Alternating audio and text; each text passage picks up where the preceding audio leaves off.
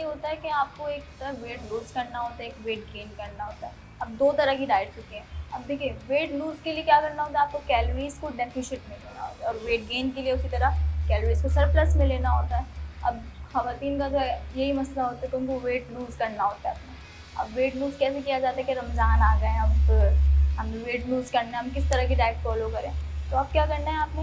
Workout से पहले आपने क्या खाना है? वर्कआउट के बाद आपने क्या खाना है? और शहरी में आपने क्या खाना है इफ्तार में आपने क्या खाना है? तो इसी तरह सबसे पहले एक चीज़ अपनी माइंड में बिठा लें कि आपको डाइट में अपनी सबसे चीज़, पहली चीज़ ये करनी कि फ्रेश जूसेस करने हैं। फजूल की जो है, क्या बोलते हैं, आप ये बनाकर पी रहे हैं कि अदरक डाल दिया और नींबू डाल दिया और पुदीना डाल दिया, उसका पानी बना के पी लिया।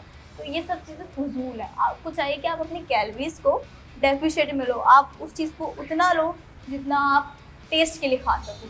लाइक आपको अपनी, आपको प्रोटीन नहीं छोड़ना कार्ब नहीं छोड़ना और बाकी फ़ैट छोड़ दें आप, क्योंकि फ़ैट का इतना जो है, अगर आपको वेट लूज़ करना है तो फैट का इतना कोई इशू नहीं होता आपको छोड़ने में।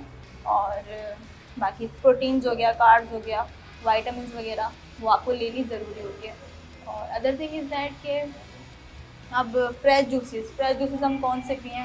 अगर आप ऑरेंज का पी रहे हो एप्पल का पी रहे हो तो it's good it's good you know और रमज़ानों में ये होता है कि आप ज़्यादातर रू अफ़ज़ा वगैरह नॉल ही पी रहे होते हो तो उसमें ये क्या है आप शुगर की मकदार कम रखें अपने जूस में और ऑयली चीज़ों की जो है इस्तेमाल कम कर दें। बल्कि करें ही मत, ज़्यादा बेहतर, कि ऑयली चीज़ें हमारे लिए मैटर नहीं करती डाइट में। आप चाहे डाइट गेन करो या जो है वेट लूज़ करो, उस चीज़ के लिए इतनी फॉलो नहीं करती कि भैया आप जो है ऑयली चीज़ें खाओ। क्योंकि तो उसका कोई इतना किरदार नहीं होता कि आपको जो है ऑयली चीज़ें खानी लाजमी है, ठीक है?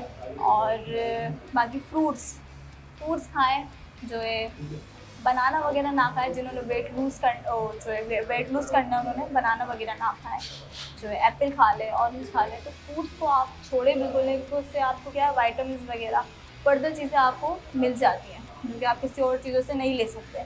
बाकी कार्ब्स चावल, भाई चावल खाएँगे हम, मोटे हो जाएँगे, नहीं।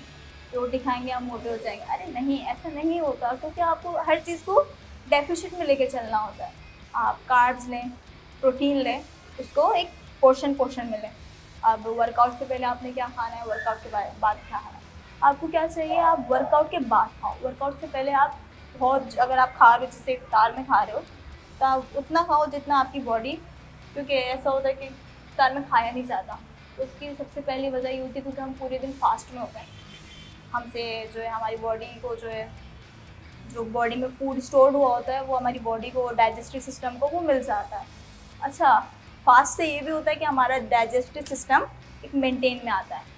अब डाइजेस्टिव सिस्टम मेंटेन में आ गया, उसके बाद आप योगा कर रहे हो वर्कआउट कर रहे हो तो इससे ये होता है कि यार आप फिट हो, यार आप बिल्कुल फिट हो, क्योंकि ये होता है कि यार अगर आप अपनी जो है लाइफ में, अपनी जो पूरी रूटीन में आप वर्कआउट कर रहे हो, चाहे उसको पूरा एक टाइम दे रहे हो, एक घंटा दे रहे हो या फोर्टी फाइव मिनट्स दे रहे हो तो इट्स इनफ इससे ये होता है कि यार हाँ आप वर्कआउट कर रहे हो और आप अपनी डाइट को फॉलो कर रहे हो।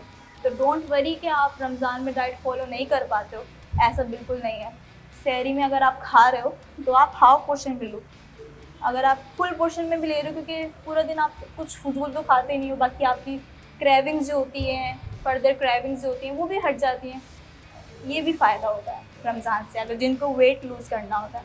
अब वेट गेन में ये होता है कि यार आपको खाना ज़्यादा है, लाजमी खाना है। ज़रूरी नहीं कि आप ऑयली चीज़ें आप खा रहे हो, आपसे नहीं खाई जा रही तो आप नहीं खाओ, क्योंकि तो ऑयली चीज़ों का इतना मैटर नहीं करता हमारी लाइफ में या हमारी रूटीन में।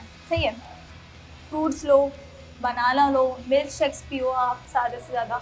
जितने मिल्क शेक्स पियोगे, उससे ये होगा कि आपको एनर्जी भी मिलेगी और आपकी बॉडी को जो आप नहीं खा रहे हो आपसे नहीं खाया जाता तो आपकी बॉडी को जो है, वो सब कुछ खाने में आसानी होगी। अब शहरी में जो फर्दर खाना खाते हो, पराठा वगैरह खा रहे हो तो ज़्यादा ना खाओ, क्योंकि आप पूरा दिन फास्ट में होते हो। पराठा खाओगे या एंड ऑल ये सब चीज़ें खाओगे तो इससे ये होगा कि आपकी बॉडी को जो है ना, पूरा दिन फास्ट में होगे मतली होगी एसिडिटी होगी, और आपसे जो है, क्या बोलते हैं रोज़ा आपका ख़राब हो जाएगा। तो इससे ये होता है कि आप शहरी में वो चीज़ें खाओ जो कि आप बासानी पूरी जो है, पूरा अपना रोज़ा आसानी से गुजार सको।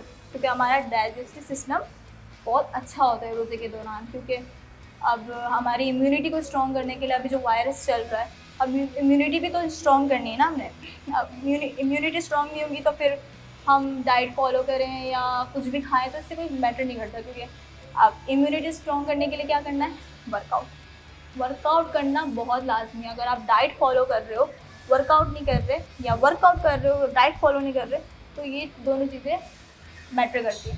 सेवेंटी परसेंट आपकी डाइट मैटर करती है और बाकी थर्टी परसेंट आपकी वर्कआउट मैटर करती है। अब थर्टी परसेंट आप निकाल दोगे तो फिर फ़ायदा नहीं ना उसको फिट रखने का, अपनी बॉडी को मेंटेन रखने का तो कोई फ़ायदा नहीं डाइट और वर्कआउट लाजमी।